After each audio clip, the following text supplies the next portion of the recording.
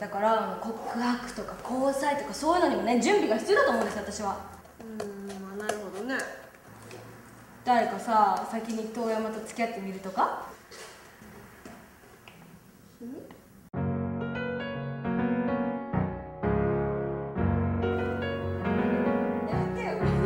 ギュッて。なんかないの？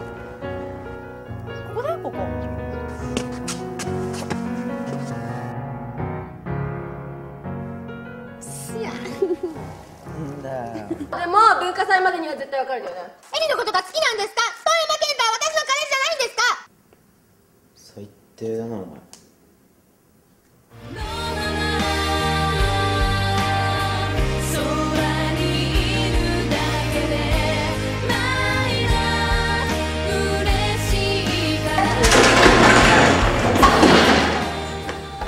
サードボイスをラブホ代わりに使うなや恋のことで頭がいっぱいでしょ？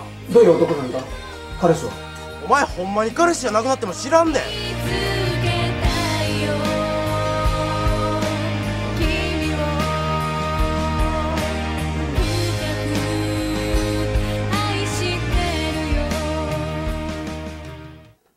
このままさ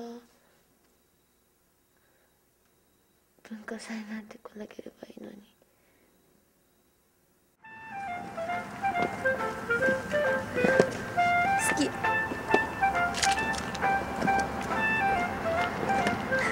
guys.